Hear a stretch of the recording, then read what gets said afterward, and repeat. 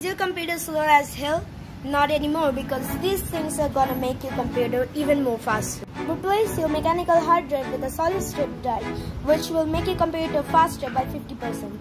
Upgrade your 2 gigs of RAM with the 8 gig RAM and use both your SSD and hard drive with this thing. You can slot this into your like the CD drive thing. Here are all the things that can make your laptop or computer faster.